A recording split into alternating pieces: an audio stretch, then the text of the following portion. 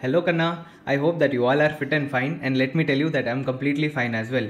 Today I am very very excited to share you this news that the ICAI has launched artificial intelligence exclusively for chartered accountants in the name of CAGPT. We are going to learn about CAGPT, what are the different different types of GPTs introduced by ICAI and how to practically use that CAGPT also I am going to show you in the form of a live demo. Firstly, let us talk about ChatGPT because CAGPT is a type of ChatGPT only. This ChatGPT is an artificial intelligence. I think that most of you would have used ChatGPT by now. If at all you have used ChatGPT and especially if it is related to the profession, please let me know in the comment section for what purpose you are using this ChatGPT because I would be interested to know and maybe use that in future also. Because even me personally, I use ChatGPT in my CA practice for example, I want to draft some notice, but I want appropriate legal language. For that, I use ChatGPT. Sometimes I use ChatGPT to do some complex calculations. Sometimes I use ChatGPT to do data analysis for my audit, etc. And now I am very very happy that the CA Institute has given me different different CA GPTs which are trained in the relevant subject matter. Now, for the time being, this CAGPT has just launched the beta version. It means the product is still in the testing phase and there might be errors and mistakes that the CAGPT makes. But I'm sure that very very soon the final product also will be launched and it will be open for all members. Because right now it is only open for the first 7500 CAs who registered and fortunately I was one of those first 7500 members so I am able to use this platform. It is very very interesting. Now, what is the difference between CAGPT and ChatGPT? Well, if you have used ChatGPT, you know that there are two disadvantages. Number one, the free version of ChatGPT uses data for more than 6 months ago. From more than 6 months ago, that is around October 2023 only the data is updated. And number two, CAGPT, sorry, ChatGPT takes data from multiple uh, articles on the internet. Those articles can be uh, old also, it can be wrong also, it might not have amended provisions, etc. Hence, it is not suitable to rely on the information of ChatGPT for asking professional doubts. But now, this CA GPT which is introduced by ICAI is trained on exclusively the subject matter and updated with the latest provisions, circulars and notifications of that subject matter. So let me show you the CA GPT website of ICAI. So if you see the website, here it is written that it is a beta launch. It means still it is in the testing phase. Now, Institute has introduced 15 CA GPTs on different different matters. You can see here accounting standards, Act, CA Act and Regulation, Auditing Standards, Internal Audit, Corporate Law, Digital Accounting, Direct Tax, Ethical Standards, Expert Advisory, etc. etc. So there are so many different different types of GPTs. Obviously, if I use uh, every single type of GPT, it will take a huge amount of time. So right now, I would be only showing you that live demo of three GPTs, which is most relevant for us. One is direct tax, one is indirect tax, and the other one is CA Act and Regulations. So first let us come to CA Act and Regulations that is the ICAI Act and Regulation GPT. Let us ask this GPT some questions and let us see whether it is able to give us the answers or not. So I have some sample questions noted with me. Let us ask those questions. First question that I put is can I advertise my services in a newspaper? So let us see what is the answer. Okay, it is very very clear. No, you cannot advertise your services in a newspaper because it is regulated by the Institute of ICAI Act. So here it is very very appropriate. It is unethical to advertise your services as a chartered accountant. Let us ask it one more question. I really want to audit one person. Can I go to his shop and offer him some audit services? Let us see. It has given the answer immediately. No, you cannot directly approach a person to offer audit services at their shop because it is solicitation. If you are a CA final student, you will definitely know this provision. Next. Quickly, let us ask it. Who is eligible to write CA final? So it has given the conditions to write CA final. So completion of intermediate, completion of articleship, registration for CA final course and advanced ICI TSS. Here I feel that in uh, case of the new syllabus, it is also compulsory to complete the 6 month training but here it is talking about the 2.5 years of articleship so it is talking about the old scheme and not the new syllabus so here there can be some upgradation. And also it does not talk about the uh, the new modules that have been introduced by ICAI and passing those modules. So that can also be improved I think. Next. Let's see what does it answer. If I pass my intermediate in May 2024 exams when will I be able to write CA final? So this is an indirect question which we are asking to CA GPT so it has given the answer. If you pass CA intermediate you can write your CA final exams after completing articleship of 2.5 years. So here also it is taking the period of 2.5 years instead of taking 2 years plus 6 months. So let us just try to counter question this CA GPT. You are talking about old syllabus. Please tell me about new syllabus CA final. Let us see if it can answer or not.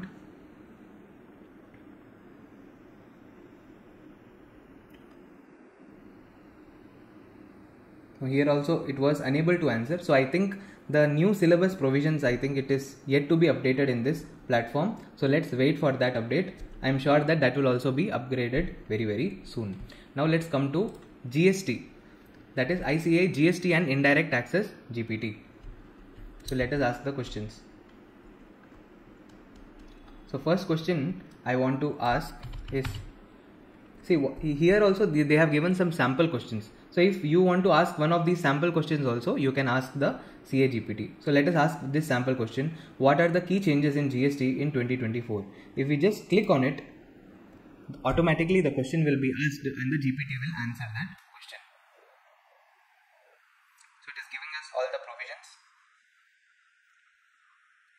e-invoicing has been reduced from 10 crores to 5 crores. In GST registration, they are going to bring biometric registration. I think recently there were some uh, circulars introduced uh, after the GST Council meeting. Those circulars also have been summarized in this answer. So here in GST, it is giving us the latest updates. Let me ask. Let us ask some complicated questions in GST. So here I have put in a question. If I have a GST registration in Tamil Nadu and I receive rent from my immobile property in Kerala. Do I need to take GST registration in Kerala or can I issue invoice from Tamil Nadu itself? So this is a complicated question and even in CA circle there is some ambiguity regarding this provision. So let us see what GPT is answering. It is telling if you have a GST registration in Tamil Nadu and if you re receive rent from commercial immobile property in Kerala, you need to take a GST registration in Kerala. According to GST law, the place of supply for immovable property is where the property is located. Therefore, you must register in the state where the immovable property is situated and issue invoice from that state. So it is telling that if at all I am having an immovable property in Kerala, then I should take a registration in Kerala also for receiving that rent on immovable property. Fine. So this is CAGPT's answer. Now let us ask some uh, question which probably the law cannot answer and let's see how CAGPT is answering that question. I've asked it the question if GST department issues me a show cause notice under section 73 and schedules a personal hearing but GST officer is absent in the personal hearing then what should I do? Let us see what is the answer.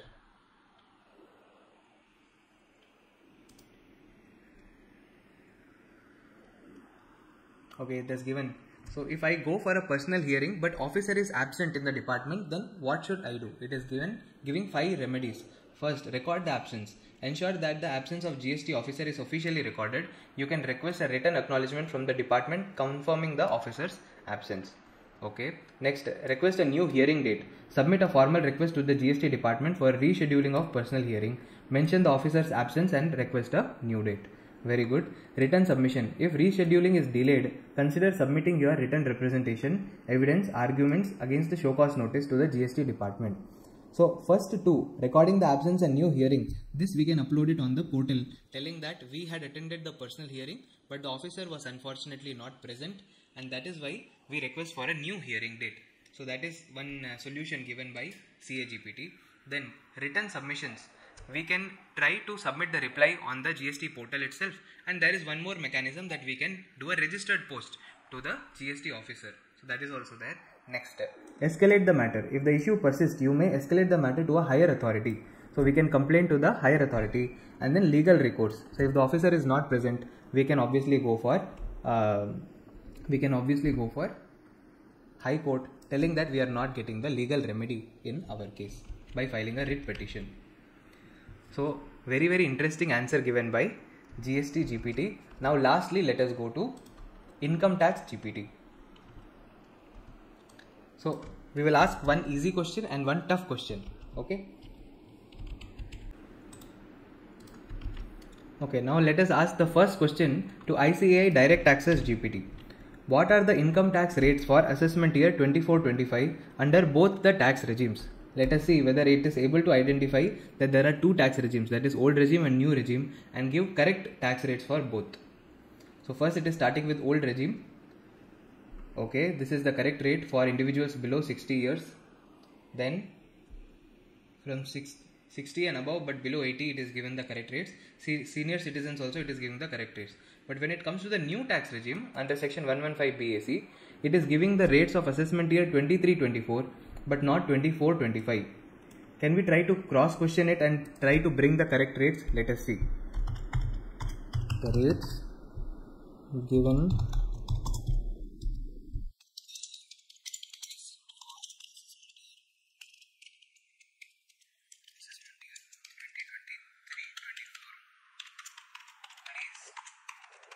give me the correct rates for assessment year 2024-25 let us see whether it is able to give the correct rates or not. So there is one thing which is clear that even though it is very very helpful and it is taking the knowledge directly from the provisions still you have to recheck the answers that is that is given by uh, CAGPT to be absolutely sure that whether you can advise the same to the clients or not. That is one thing that I am noticing. Now let us see whether it is able to give correct rates. Yes, now I think it is able to give the correct rates. Up to 3 lakh rupees it is nil, then up to 6 lakhs 5%, 9 lakhs 10%. Okay, so this information, so this information was already there with uh, uh, CAGPT. But here above 15 lakhs it is giving 25%. This tax rate is actually not correct. Above 15 lakhs 25% is not correct. So here also I think that needs to be some improvement in CAGPT when it comes to the tax rates. Because if the rates are wrong, then I don't think it will be able to calculate the correct tax. So easy question, it did not score passing marks. Now let us ask the tough question and see whether it is scoring passing marks or not. So I am asking a capital gain question to CAGPT. If I am selling my residential house for 10 crores on 4th of July 2023, which was purchased on 10th May 2005 for 1 crore, what will be my capital gain and how can I avoid paying taxes on capital gain? So let us ask this question which is a little complicated about the capital gain chapter. So first it is calculating indexed cost of acquisition. Okay. Formula it has given correctly. I don't know whether the final answer is correct or not, but it has given 2, 2 crore 20 2 crore 97 lakhs 43,000. This same question you can also work out on your end and see whether it is correctly given by CAGPT or not. So then it has calculated long term capital gain as 7 crore 2 lakhs 56,000. On seeing overall it is looking correct, but I am not sure whether exactly the figures are correct or not. And then it has also given the ways to avoid or minimize the tax. So the different different exemptions it has told us about section 54, 54 EC, capital gain account scheme, etc. And it has also given us the examples how we can save tax using these sections. It has also given us a summary of its answer. So in the easy question, I think it is not performing that much, but in the tough question, it is performing really well. So obviously, this uh, CAGPT is in the beta stage. There are lot loads of things to improve, and definitely that improvement will come in the times to come let us wait and watch. And ICAI is even told that on other matters also it is going to start launching the GPT so I'm very very excited what new GPTs are going to be released by ICAI let us wait and watch. If at all there is an interest up, interesting update in this then I will surely tell it to you and let us do one fun activity if you have watched this video till here the first 10 people who comment any question on this YouTube video, I will ask that question to the relevant CA GPT and that answer is there, no? Whatever answer comes, I will post it as the reply to that comment. So, uh, and the people who are not the first 10 people to comment, obviously, you can see what the answers are. Let us do this fun activity and see what is the replies given by uh, CA GPT. So, let your questions pour in the comment section below. See you in the next video, dear. Till then, take care. Bye bye.